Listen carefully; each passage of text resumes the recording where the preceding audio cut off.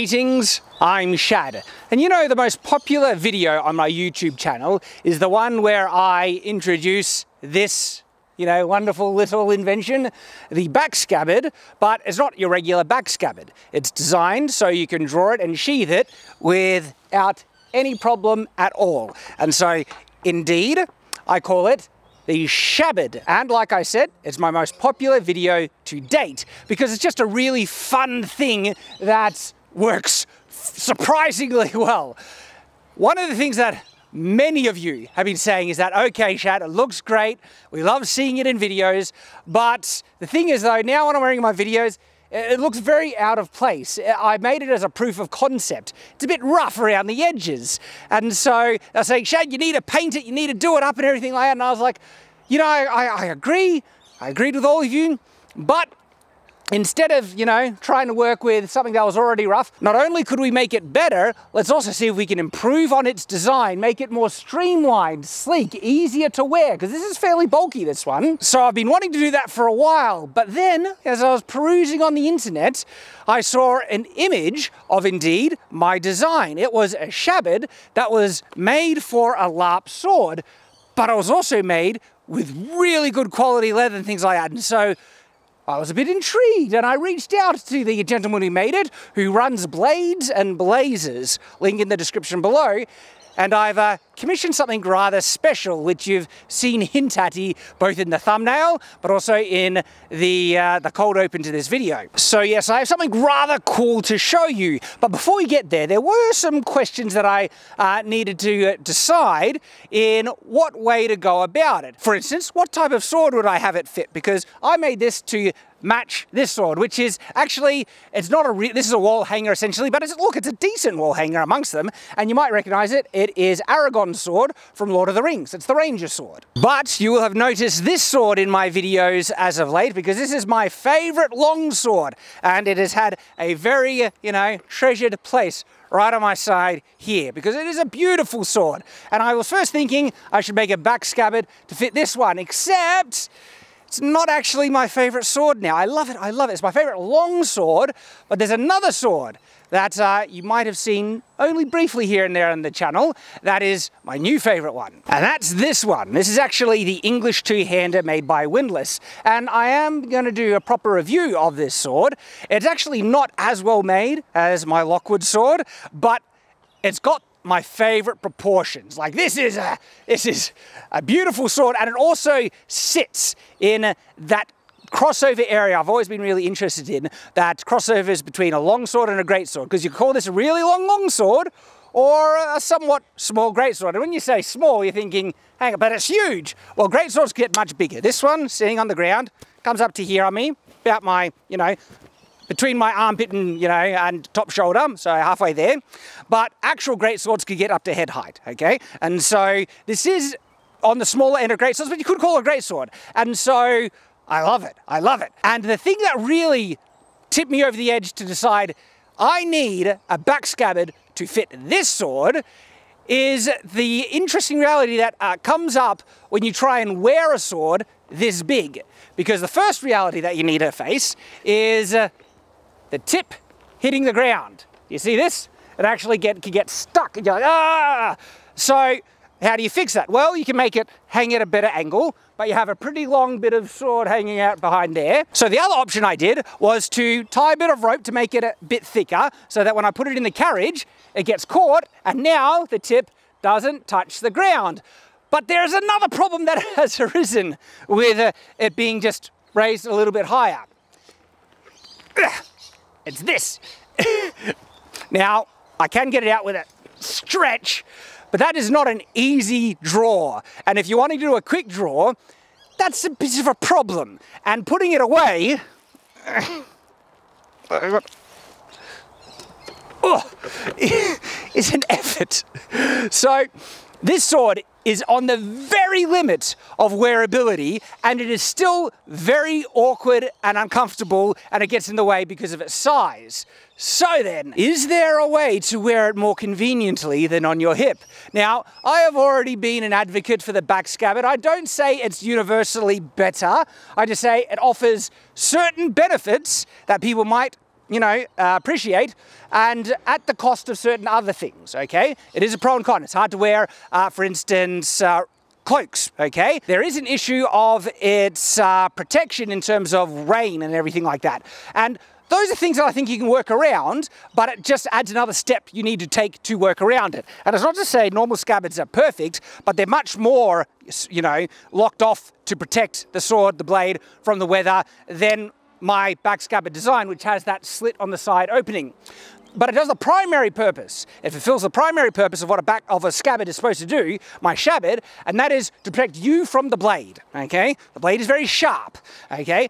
You always need, if you're wearing it, you always need something that will properly protect you from the blade of a sword. You don't always need a scabbard to protect the sword from water, only when it's raining. And when it is raining, there are ways that you can get around to still protect the sword in a, in a scabbard. Uh, with having size, like lowering it down, putting a cloak over or something like that. So I won't go over all the benefits of the scabbard, but I will point out one of the benefits, additional benefits that I think that I, well, I don't think I've already said I know, uh, it provides is that it actually enables you to wear a much larger sword far easier than you can actually wear it on your side. Do you want to see? I, am excited to show you. So yes, let me show you the new and improved, upgraded Scabbard. Check it out. What do you guys think? I am honestly very, very pleased with how it's turned out. So I'm going to show you how it works. And honestly, I wanted to catch most of my, you know, um, uh, presentation on camera. So I've only ever worn this once before in an initial test and it worked really well. But I expect there still might be a little bit of fiddling for me to learn the new position I need to put the sword in to sheath it. Because something that I've learned about back scabbards, you know, the scabbards, is that there's actually an interesting amount of muscle memory you need to be able to sheath it easily. Like you saw how easily I sheathed it at the beginning of this video. That was one take, no things, just straight out, bang straight in, because I've had a lot of practice with it. I haven't had a lot of practice with this one. So I do expect there's going to be a little bit of fiddling, but I've already tested it. does work. I'm just going to need practice to get better at it. And so what you see as well, look how big this sword is, okay? Like, like this is a big two-handed sword, and hats off to Blades and Blazers. You did a phenomenal job. Like, like there's a, there was actually a bit of um, back and forth kind of brainstorming between me and Blades and Blazers to figure out the best way to uh, execute you know, um, this design to make it look nice, but also make it function. Because we, what you'll notice is look how streamlined it is, okay? It's not bulky, it's made out of leather. And so the materials, the design, all need to be figured out. And I'm gonna go through that a bit later. But first, you wanna see it work? Check it out. All right, now putting it away, that's the one I personally gonna need to practice on. So if I get it is it in? Yep. Oh! Look how good that worked! First try! Oh, that was very satisfying. Now, there's one last little... Oh no, it's it looped, it hooked in over the leather. Did it hook? It's looped at the front, but it's not looped. Oh, okay, well that's easy, easy fix. You just hold it there. And is it, is it in? Yeah, now it's in. So this sword actually has a really beneficial feature which helps with the sheathing, or the, the lock-in part. And yeah, when I say I have two, I actually have more than two. I liked them so much I bought the whole store. Well, no, actually, there was a little thing that happened which I only intended to buy two, a sharp one and a blunt one. Something happened which ended up that I so happen to have three now, but anyway. But if I approach the camera and you'll see this sword has, uh, you know, little uh, protrusions, lugs, not, not things that um, you could almost call it like an inbuilt type of rain guard, but it's too small to be a proper rain guard. But anyway, as, and as you see, it hooks over right there. So it helps out. And as a result, it locks in so tight and secure, like this thing, all right? It doesn't fall out. Like you can jump up and down, you can run, oh, this is one of the best things about the Scabbard. So as I mentioned, the benefit of the back scabbard is how particularly secure it is. Like, like when you swing around this, this is actually amazing. Like compared to an actually, well, I can compare. I've got another sword. I can do the comparison right away. Okay, so have a now. Granted, a proper, you know, um, sword that's connected is going to be more secure because it'll have like two ropes, but they're still swinging. And that's the point that I want to point out. Like, and you'll be able to see, like see this thing wave around compared to the Shabbard, okay? Now, even a sword that's secure tight, it still has swing around, and honestly, would I actually find it gets in the way more. One of the other things that we're wanting to do with the back scabbard is get the angle really, so it's not gonna hit my feet, as you see there, but it's not hanging off at a really high angle. It's actually decently vertical, so getting in through doorways is pretty easy, even with a sword this big. This also has a larger baldric, kind of securing it in place, which helps distribute the weight easier. And, uh, oh, this is just beautiful. Now, running. I do have to mention one thing, and this is something that Blades and Blazers will be able to keep tabs on in the future because he did not have a sword to make this. This is, again, hat off. We sent him measurements, but after the measurements, there's still amount of, a decent amount of interpretation, like there has to be a bit of distance between the sword and the edge of the scabbard, how much to let it wrap around and everything. And so he had to do that blind based off, we gave him very specific measurements, but still based off measurements. He couldn't test the sword in and out. And so he did phenomenally on that. There's one small thing that unfortunately is the result of uh, of not having the real sword to test is that the, the scabbard, this part, is made detachable. There are actually tacks you can untack up here and unstrap there and remove the actual scabbard from the baldric. Unfortunately, this sword is a bit heavier than I think he was expecting, even I was expecting, because when I really jump up and down, the tacks can come loose. So I'm gonna do some running, and because uh, it's come loose like on me one time before, We'll be able to fix it very easily just by tying some rope to hold it in place better, um, or even adding another tack or something like that. I'm perfectly capable of doing that. But so when I'm running around, oh, I heard it. I heard it right then. The, um, the tack just came loose. Let's see if you can see it. If I get in there, I'm not sure. So I heard one come loose. So unfortunately, that is the only real flaw this one has, but you're going to find out through testing anyway. And there's no way, to, he didn't have a sword to test it. So the weight is the issue. And we just, you know, I'm going to secure that much tighter. And then, man, running around, right? Like, this is so secure because already you can see how secure it is, okay? Bar this, the tack's just coming undone there because of the weight. But if that stays tight, it's so secure. Like, it doesn't wave around here when I'm moving. I can run really fast with this and it holds it. And so I've always kind of said that I think an adventurer might very well choose a, a Shabbard over a side one because it keeps your hands free and it holds it in place much better than a side scabbard. I'm not sure if you can see the tacks, but now they're done up nice and secure. Um, but when it's like this, I mean, I don't feel any waving at all, all right? And look at how streamlined and subtle it is. So one of the things that we did, and I realized with the old back scabbard, is that the guiding panel here, the wing, yeah, like so I, I call it the, the panel, the guide flap, the wing, whatever you like, doesn't need to be this big at all. Like, like compare, okay? Do you see? The, that the one on this one is far subtler. I could bring it up because the main point I needed when I was testing it is uh, uh, always kind of flat there when I came in, I usually notice that it comes in here. You don't necessarily need all that extra space here. And the other part, because the sword comes down on an angle like that to there, the most important part of this guide panel is this part here, not necessarily that the, the lower section. So we could reduce that considerably. We might even be able to reduce it more than what I got on here, but already the new version is very subtle um, in its design because you just need that top part and then to feel it and then you need something for the blade to fall flat against. And so you don't need much, just enough. So even just a section up here like that, and then let it feel in, and down. So I'll show you one more time the mechanics of how you sheath a sword in a shabbard, just so you, you know, get the idea. But of course, uh, sheathing a sword isn't actually the important part. It's drawing it quickly, because presumably you'd only be sheathing the sword after the, the bad guys, the threats are dealt with, so you can take a bit more extra time if you need to, unless you're wanting to switch between weapons quickly. But the key part is drawing it. Now you saw how much trouble I had drawing this size sword when I was on my hip, just take a, take a, take a moment and everything and see how quick it is just on my back. So good. So now let's uh, look at the mechanics of putting it away. And again, I'm, I'm trying to look for that, that sensei, ah, right there. So it's interesting how you get better. Now, I'll just uh, put the tab over the, the parts so to lock it in nicely. Uh, right there, perfect. And then Locked in, okay.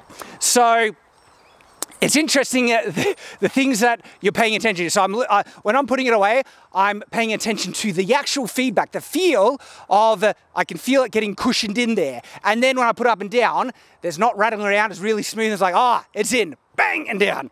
And it's not a problem. And so the more practice, you get better at it. This is again like, only a couple of times I've been trying this and already I'm getting better just with these attempts and uh, it's getting easier and easier. Just practice makes perfect with these things and all works. So now I want to show you a close-up of the Shabbard, uh, this new one, and how he went about making it so understated, the design more streamlined, but also, because one of the important things is that a Shabbard needs to hold its shape. And so I'll show you how we went about doing that.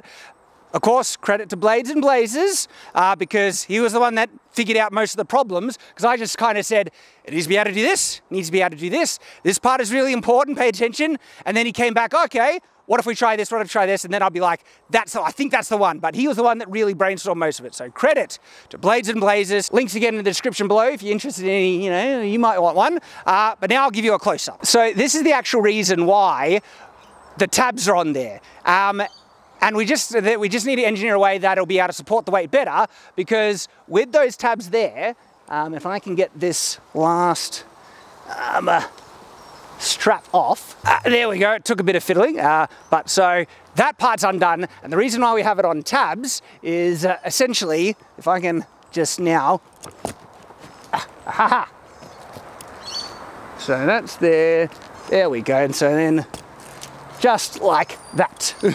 so it can actually be detached. A um, little bit of fiddling, there's another strap I missed, but this one's easier to get off. And, uh, and so yeah, that's why this part is on tabs. And at the moment, that does seem to be the weak part. We just need to, like I said, strengthen it, tighten that up, not a problem. But to make it actually detachable, which hopefully we'll go on for convenience. So you can sit down, whatever. So now I'm gonna show you how we actually made this. So how did we go about making this? Well, first of all, of course, was getting the measurements right, the distance. The next thing was to measure the draw distance that I can achieve with my hand and match it to the length of sheath that we can pull the sword out from. Because whatever length you can achieve from that motion there, um, whatever is then left, you need to keep open on the side. And so then when you draw it there, right out just like that. So after the measurements, we need to start brainstorming structure because it needs to hold it. This panel here needs to be pretty firm. Now the advantage is leather can get pretty firm. So that's the first advantage. But the other thing that we wanted to do, we wanted to reinforce it with wood. And so we sandwiched some wood, put leather on either side.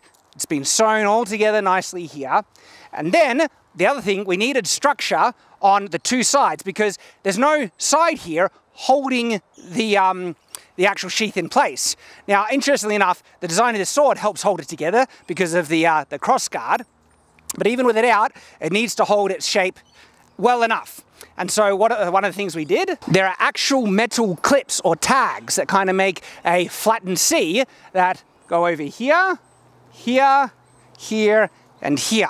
And so that helps the structure and prevents it from opening up just, you know, like that. Because again, this part is leather, but then these metal tabs are holding it together nicely. And then on the inside, I like having wool on the inside. I did it on my other, you know, shabbard and it helped sandwich the sword really nicely because you can get certain cross guards where there's nothing, you know, just caressing, sandwiching, pressing against the sword, and they're a bit loose and you can hear them rattle. And they also can slip out.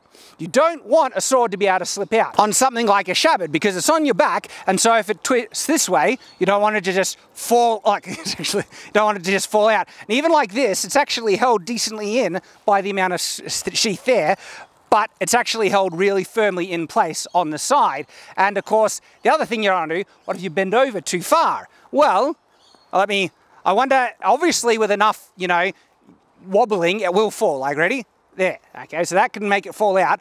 But you want it there to be enough friction for it to hold itself in place so just even when on casual bending over, it's not going to fall out. So that's why I kind of like the wool on the inside for that nice sandwiching effect. And uh, with all those in place, there we go. And again, like, look how subtle and understated it is. Like this. And the other thing, the wing, I, I actually feel adds a really interesting aesthetic kind of feature to the, uh, the you know, the scabbard itself. The new and improved shabbard or drawable back scabbard. Oh, you know, you don't have to call it a shabbard, I admit. Name's a bit, bit yeah. Uh, you know, the Shadiversity scabbard, whatever you, you can call it whatever you like in your fantasy. By the way, people often, you know, leave a comment saying, hey, I'd love to use this design in my fantasy. You don't need my permission, okay? I release this design to the world. I have no copyright, I have no patent on or anything like that. I don't mind, you know, just uh, credit now and then, but look, you don't have to, uh, because I'd much rather see people like if you, because that's the thing, weapons on the back, especially swords, is a big staple in fantasy. And so having a regular scabbard on the back with the sword there doesn't make sense because people can't draw the sword. People have done so many videos on it. So you just need to alter the design. And my design isn't the only one. I personally like it the most. There's obviously bias involved in there, but just because it works so well. And the takeaway you can obviously notice I'm leading towards here is that if you're having swords in your back, that has to be taken into account of. How are they going to draw it? And uh, this design is just, I feel, a very elegant and now streamlined and aesthetic, like leather and everything way of being able to do it. So you can draw the sword quickly and easily from the back and you can get to uh, the important stuff, the fighting. Oh, it's so secure, love it. Though I will say this in terms of fantasy versus reality, look at the size of sword this accommodates and works beautifully. This is a big two-handed sword. It's a war sword, either a real long, long sword or a great sword, even, you know, it's in that range, and you can draw it so easily and putting it away, you know, granted, I'm still practicing to get better. Oh, wait, wait, wait. Ah. Putting it away it's getting easier and easier each time I try. And so this is a big sword. Let's just compare that again to a sword this size on the hip, okay? Uh, and I'm not, uh, oh crap. It's caught on something. I wasn't trying to make it work harder than what it was. I was being legitimately trying. And the fact that I got caught, I was like, and look, sometimes I know I miss when putting it away on the back scabbard too, but that is a stretch, okay?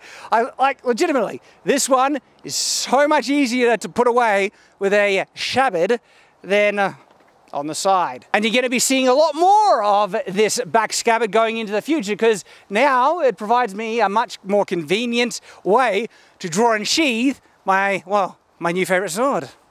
So uh, I, was, I was, a bit excited to show that to you. Um, I think it's pretty cool. So yes, finally, we now we have something that shows the levels of awesomeness that a scabbard can actually achieve with a properly made one. And uh, I've mentioned it already, and I'll mention it one last time. Hats off to Blades and Blazers, mate. Really appreciate you did a great job. Can you um can you see the Shadiversity symbol on the back? Can anyone, can you see that? Uh, I'm not sure if um, it's too subtle, but we'll, I'll find out in editing, I guess. But yeah, really, really cool stuff. And again, links, Blades and Blazers, if any of you guys interested in his work, uh, in the description below. Thank you for watching. I hope you've enjoyed. And of course, I hope to see you in the next video here on Shadiversity. So until that time, farewell. And uh, 好